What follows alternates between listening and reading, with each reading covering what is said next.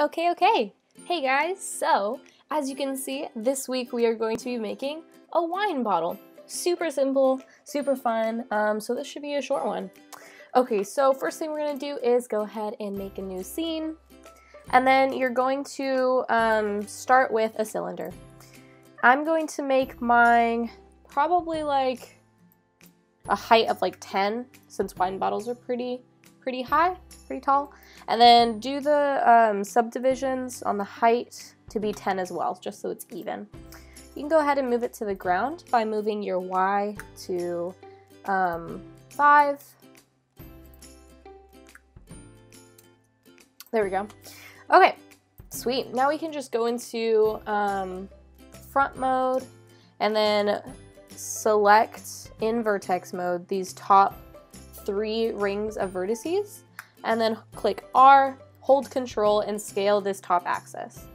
So this is just going to be the, um, whatever it's called, the shaft of the wine bottle basically.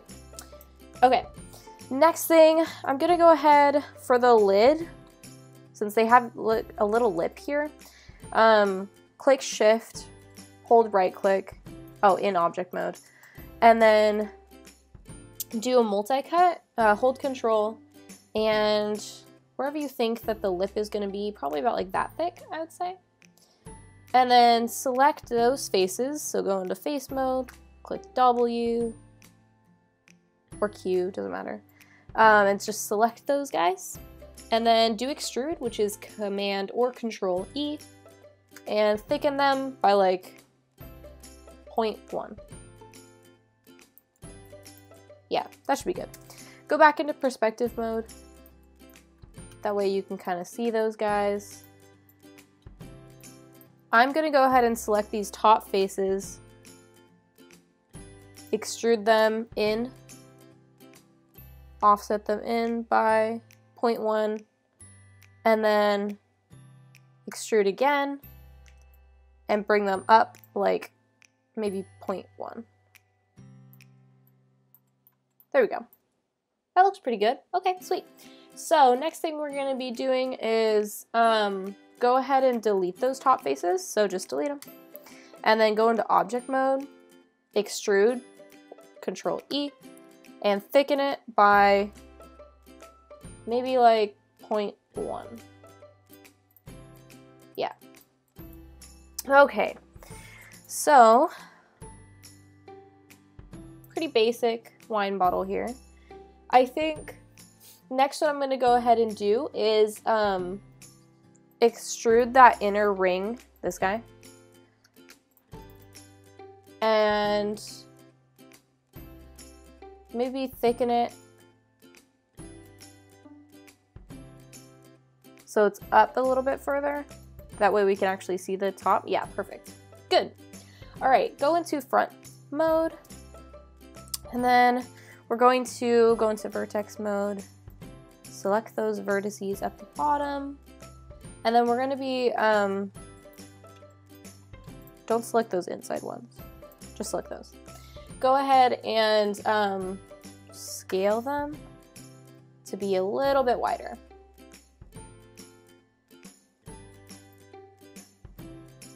Actually, I think Really, I, I think I want to do that with most of these vertices. Hold on. Let's do them with most of these guys. we would get more like a round feel to our bottle.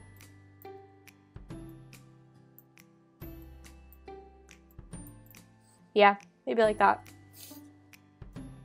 And then, um, let's go ahead and select the bottom faces of the, um, of the bottle. Q, hold tab, select all of them, extrude them and offset them in by like 0.15 I'd say. And then extrude again and we'll thicken them by negative 0.1. And then it looks like we're going to be running into the um, inside ones. Go into wireframe mode. You see how there's two sets of faces. See, these are the other faces. Go into the inside of the bottle select those interfaces, those guys. Go into wireframe mode. Oh, I missed one. Oh no. And then click W and just bring them up. That's like the bottom of our bottle, basically. Okay, let's go back to these bottom faces. Go ahead and um, extrude and offset in by 0.2, about, and then extrude and thicken by point, negative 0.1. This just kind of gives it something, something new, something different for the bottom. Okay, Go ahead press 3. So that's what the bottom's to look like. And that's what the top's to look like. Looks like we need to bevel some edges. So go back into 1, go into edge mode. We're to bevel these bottom edges for sure. So control B is beveling. Just make sure you do two segments. You can do it at any fraction you want, um, just kind of whatever you... The smaller the fraction, the tighter the corner is. That looks good. I'm to do the top as well, especially these guys. And that should be pretty good. Do these edges.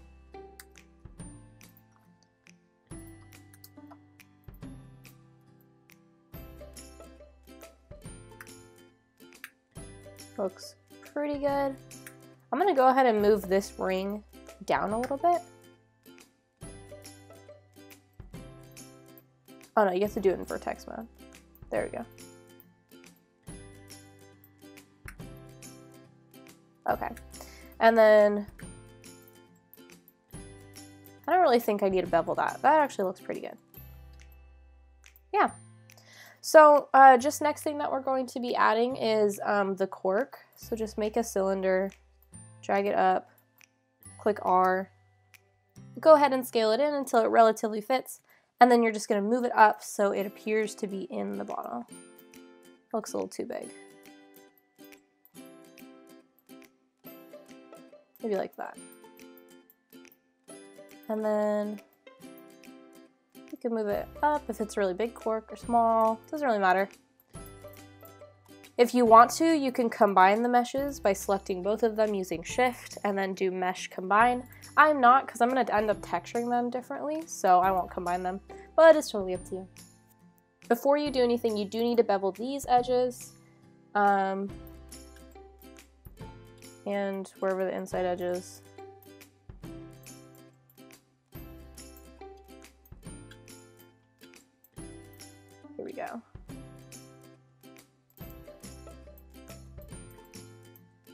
See if I got both those. Yep, okay. Control B is bevel, two segments. Make them pretty tight since a corkscrew is pretty cylindrical. Looks good. Okay, so just press three on all those guys and that's about it. You can change um, the scale of things if you think it's like too tall or anything like that. Um, but yeah, Hope you guys enjoyed this tutorial. If you have any questions about anything, leave a comment below and I'll try to clarify stuff. Um, but yeah, that's it for this time, so I'll see you guys next time. Bye guys!